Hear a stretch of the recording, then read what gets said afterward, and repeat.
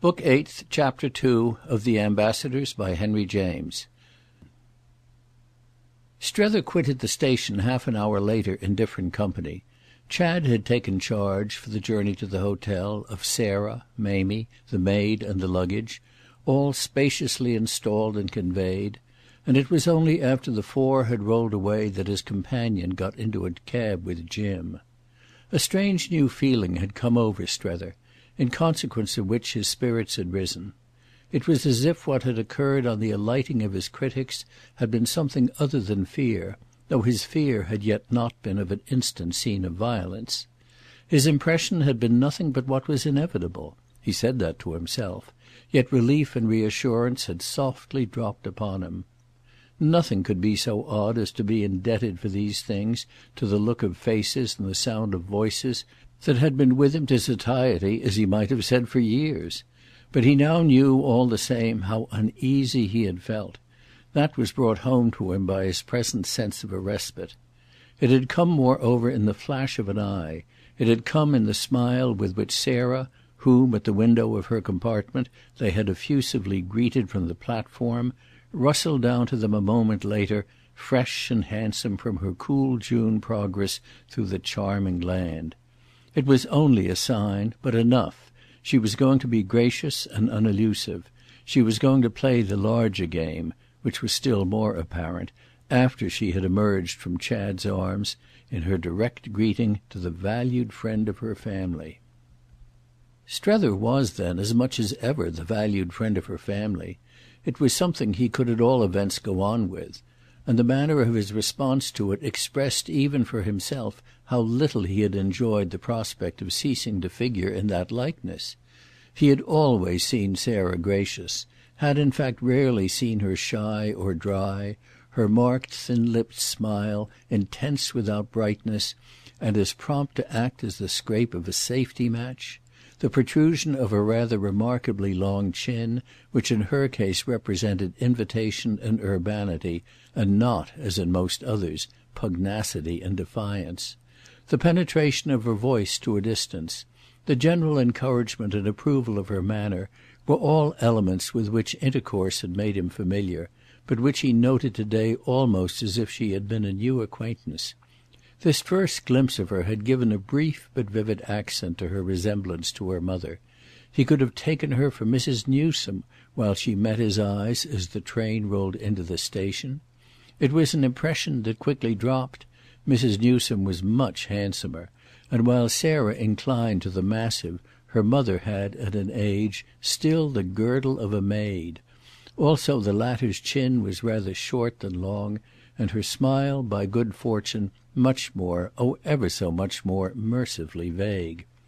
Strether had seen Mrs. Newsome reserved; he had literally heard her silent, though he had never known her unpleasant. It was the case with Mrs. Pocock that he had known her unpleasant, even though he had never known her not affable.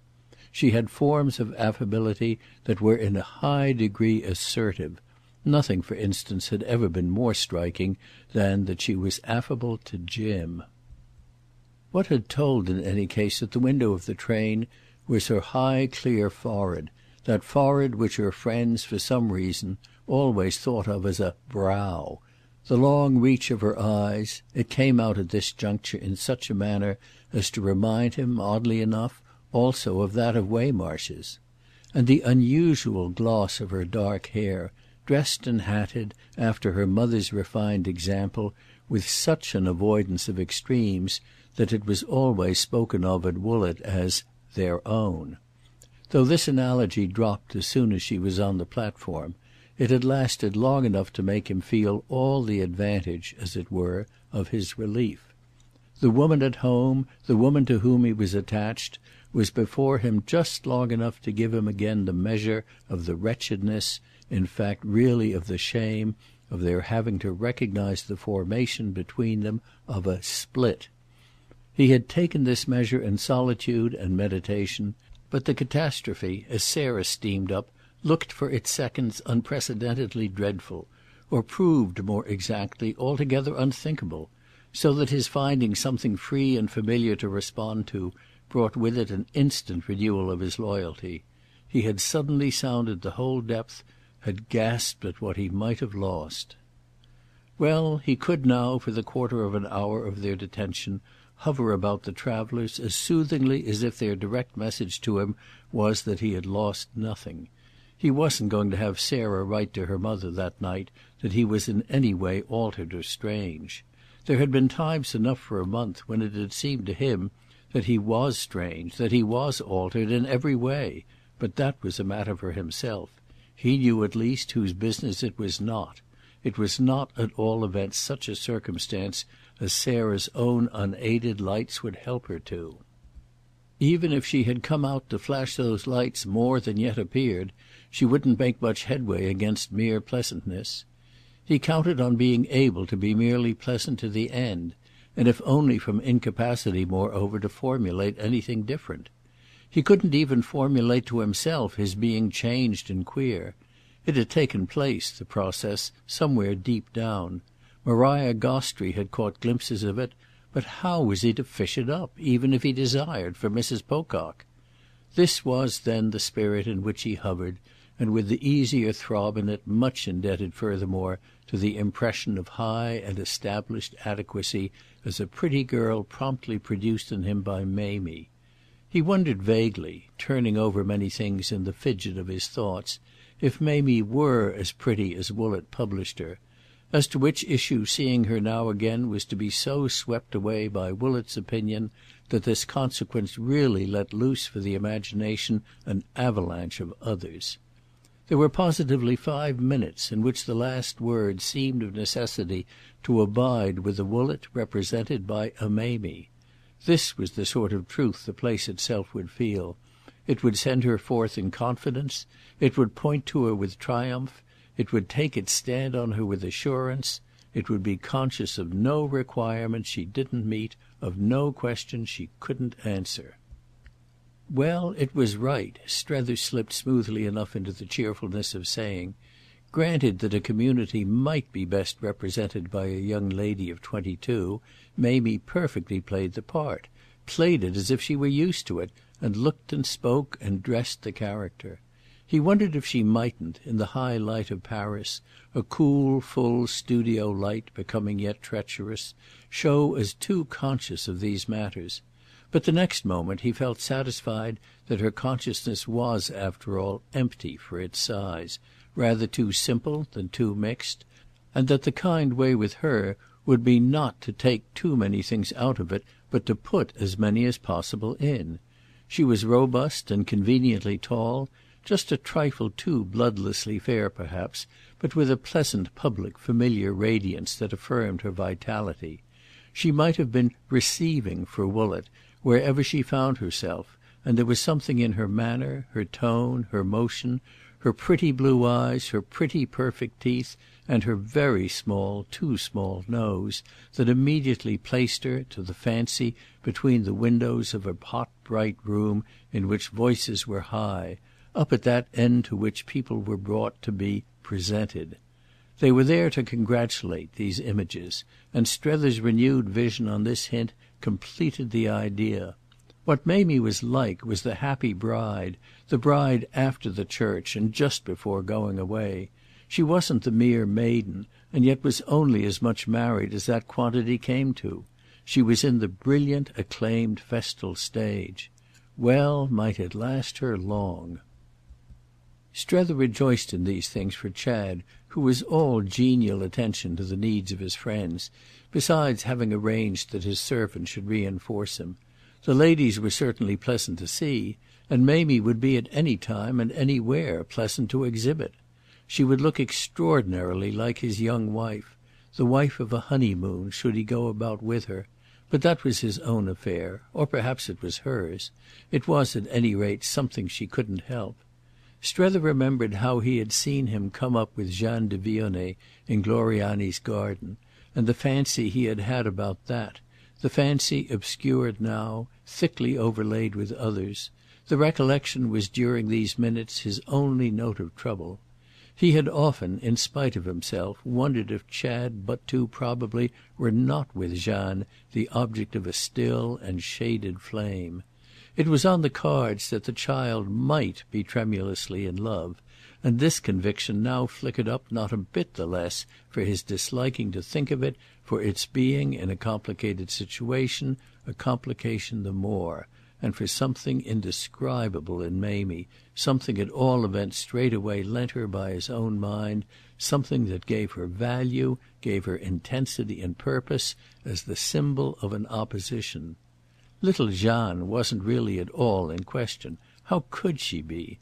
Yet from the moment Miss Pocock had shaken her skirts on the platform, touched up the immense bows of her hat and settled properly over her shoulder the strap of her morocco and gilt travelling satchel, from that moment little Jeanne was opposed. It was in the cab with Jim that impressions really crowded on Strether giving him the strangest sense of length of absence from people among whom he had lived for years. Having them thus come out to him was as if he had returned to find them, and the droll promptitude of Jim's mental reaction threw his own initiation far back into the past. Whoever might or mightn't be suited by what was going on among them, Jim for one would certainly be. His instant recognition, frank and whimsical, of what the affair was for him gave Strether a glow of pleasure. "I say, you know, this is about my shape, and if it hadn't been for you—" So he broke out as the charming streets met his healthy appetite; and he wound up, after an expressive nudge, with a clap of his companion's knee and an "Oh you, you, you are doing it!" that was charged with rich meaning. Strether felt in it the intention of homage, but, with a curiosity otherwise occupied, postponed taking it up. What he was asking himself, for the time, was how Sarah Pocock, in the opportunity already given her, had judged her brother; from whom he himself, as they finally, at the station, separated for their different conveyances, had had a look into which he could read more than one message. However Sarah was judging her brother, Chad's conclusion about his sister and about her husband and her husband's sister was at the least on the way not to fail of confidence. Strether felt the confidence, and that as the look between them was an exchange, what he himself gave back was relatively vague. This comparison of notes however could wait; everything struck him as depending on the effect produced by Chad. Neither Sarah nor Mamie had in any way, at the station, where they had had after all ample time, broken out about it; which, to make up for this, was what our friend had expected of Jim as soon as they should find themselves together. It was queer to him that he had that noiseless brush with Chad, an ironic intelligence with this youth on the subject of his relatives, an intelligence carried on under their nose and, as might be said, at their expense. Such a matter marked again for him strongly the number of stages he had come albeit that if the number seemed greater the time taken for the final one was but the turn of a hand. He had before this had many moments of wondering if he himself weren't perhaps changed even as Chad was changed. Only what in Chad was conspicuous improvement? Well, he had no name ready for the working, in his own organism, of his own more timid dose. He should have to see first what this action would amount to and for his occult passage with the young man, after all, the directness of it had no greater oddity than the fact that the young man's way with the three travellers should have been so happy a manifestation. Strether liked him for it, on the spot, as he hadn't yet liked him; it affected him while it lasted as he might have been affected by some light pleasant perfect work of art; to that degree that he wondered if they were really worthy of it, took it in and did it justice to that degree that it would have been scarce a miracle if, there in the luggage room while they waited for their things, Sarah had pulled his sleeve and drawn him aside. "You're right. We haven't quite known what you mean, mother and I, but now we see. Chad's magnificent. What can one want more? If this is the kind of thing—" On which they might, as it were, have embraced and begun to work together. Ah how much as it was for all her bridling brightness, which was merely general and noticed nothing, would they work together? Strether knew that he was unreasonable; he set it down to his being nervous; people couldn't notice everything and speak of everything in a quarter of an hour. Possibly, no doubt also, he made too much of Chad's display; yet none the less when at the end of five minutes, in the cab, Jim Pocock had said nothing either—hadn't said, that is, what Strether wanted, though he had said much else—it all suddenly bounced back to their being either stupid or wilful. It was more probably on the whole the former, so that that would be the drawback of the bridling brightness. Yes, they would bridle and be bright; they would make the best of what was before them, but their observation would fail; it would be beyond them; they simply wouldn't understand. Of what use would it be then that they had come, if they weren't to be intelligent up to that point? Unless indeed he himself were utterly deluded and extravagant?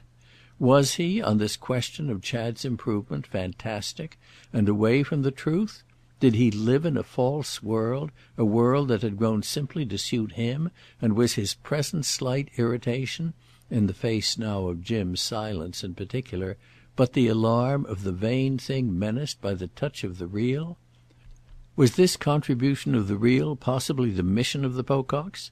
Had they come to make the work of observation, as he had practised observation, crack and crumble, and to reduce Chad to the plain terms in which honest minds could deal with him? Had they come in short to be sane where Strether was destined to feel that he himself had only been silly?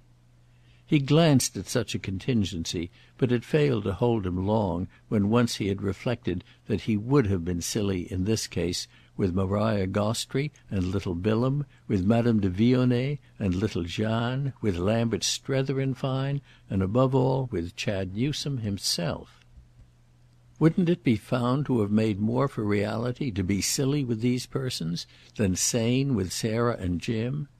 Jim in fact, he presently made up his mind, was individually out of it. Jim didn't care. Jim hadn't come out either for Chad or for him. Jim in short left the moral side to Sally, and indeed simply availed himself now, for the sense of recreation, of the fact that he left almost everything to Sally. He was nothing compared to Sally, and not so much by reason of Sally's temper and will as by that of her more developed type and greater acquaintance with the world. He quite frankly and serenely confessed, as he sat there with Strether, that he felt his type hang far in the rear of his wife's, and still further, if possible, in the rear of his sister's. Their types, he well knew, were recognised and acclaimed, whereas the most a leading Woollett business man could hope to achieve socially, and for that matter industrially, was a certain freedom to play into this general glamour. The impression he made on our friend was another of the things that marked our friend's road. It was a strange impression, especially as so soon produced. Strether had received it, he judged, all in the twenty minutes; it struck him at least as but in a minor degree the work of the long Woollett years. Pocock was normally and consentingly, though not quite wittingly, out of the question. It was despite his being normal, it was despite his being cheerful, it was despite his being a leading Woollett business man and the determination of his fate left him thus perfectly usual, as everything else about it was clearly, to his sense, not less so. He seemed to say that there was a whole side of life on which the perfectly usual was for leading Woollett business men to be out of the question. He made no more of it than that, and Strether, so far as Jim was concerned, desired to make no more. Only Strether's imagination, as always, worked, and he asked himself if this side of life were not somehow connected, for those who figured on it, with the fact of marriage. Would his relation to it, had he married ten years before, have become now the same as Pocock's? Might it even become the same should he marry in a few months? Should he ever know himself as much out of the question for Mrs. Newsome as Jim knew himself, in a dim way, for Mrs. Jim? To turn his eyes in that direction was to be personally reassured; he was different from Pocock; he had affirmed himself differently and was held after all in higher esteem. What none the less came home to him, however, at this hour, was that the society over there—that of which Sarah and Mamie, and in a more eminent way Mrs. Newsome herself, were specimens—was essentially a society of women, and that poor Jim wasn't in it.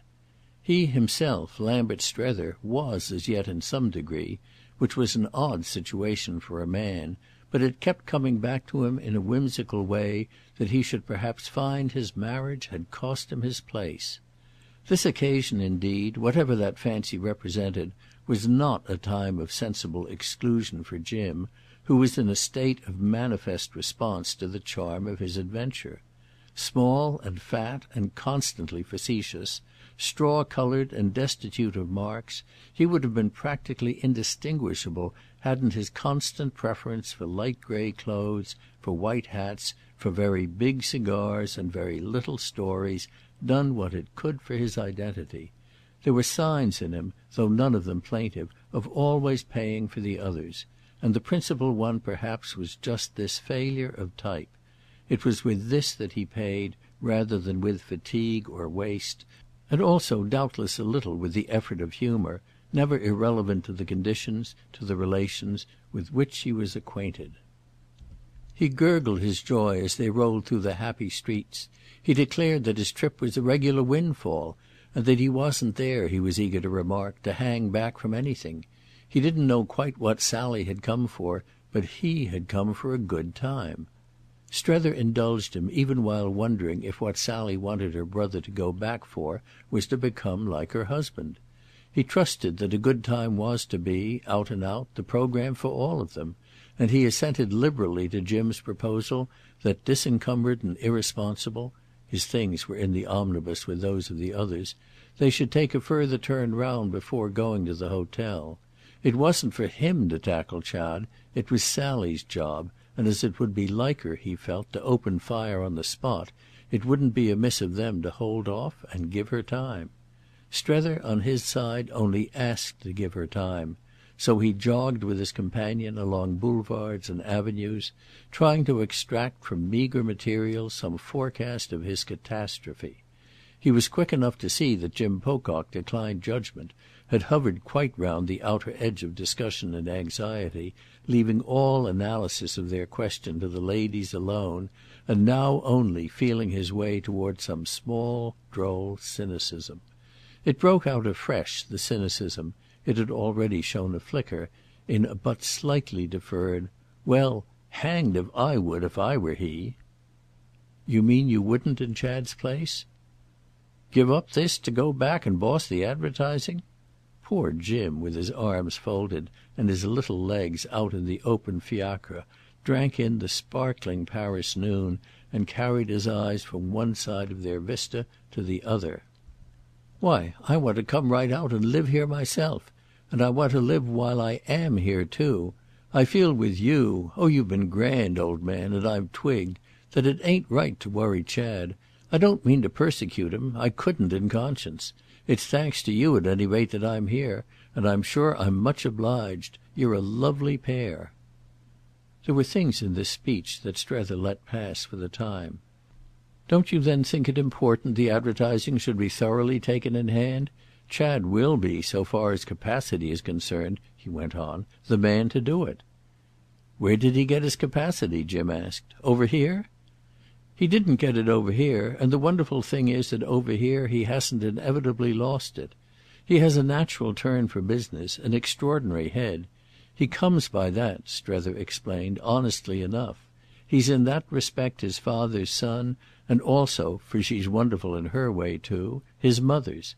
He has other tastes and other tendencies, but Mrs. Newsome and your wife are quite right about his having that. He's very remarkable."